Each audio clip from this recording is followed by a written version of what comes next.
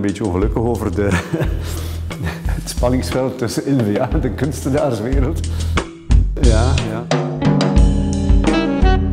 Ik denk dat we meer in dialoog moeten gaan als partij met de kunstwereld. Het spanningsveld is te groot op het ogenblik. Anderzijds heb ik soms het gevoel dat, uh, dat in de kunstenaarswereld ook bepaalde vooroordelen leven ten opzichte van onze partij. Zelfs met een Verhofstadt in zijn meest Thatcheriaanse periode, denk ik, is dat spanningsveld er niet geweest. Terwijl wij absoluut geen liberalen zijn, laat staan ultraliberalen. En, en uh, ja, je hebt dus die zogenoemde links-rechts tegenstelling, um, die hier niet, niet zou mogen bestaan. Maar van waar komt ze? Misschien, ik steek ook de hand in eigen boezem, moeten wij ook actiever de dialoog aangaan. Hè. En nu, ik, heb een heel goede vriend die mij al een tijdje aangeraden had om Nikkes te leren kennen. Ik had dat nog niet gedaan. Ik kende eigenlijk niet de manier waarop hij werkte.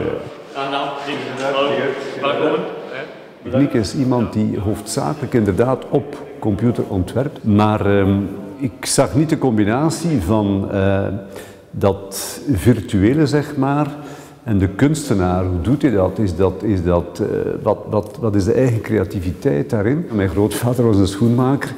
Die maakte uh, schoenen met, met zijn twee handen, hè. Dat, niet niks machinaals. Vanaf het uittekenen van de voet op een stuk bruin papier, dan, dan, dan de zool uitsnijden enzovoort. Uh, dat overleer, dat, dat met pek en draad en zo. Ik was daardoor gefascineerd als kind.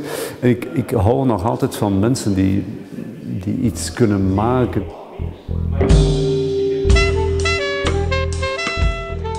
Kunst is veel meer dan ambacht uiteraard, maar ik, ik hou wel van kunstenaars die, die echt ook het métier beheersen. Ik vind dat altijd zoveel sterkere kunst ook en dat vind ik hier bij Nick terug.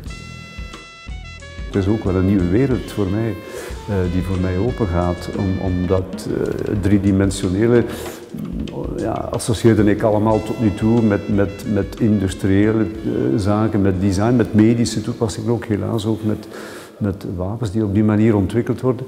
Um, en, en dit is een hele mooie wereld op die manier.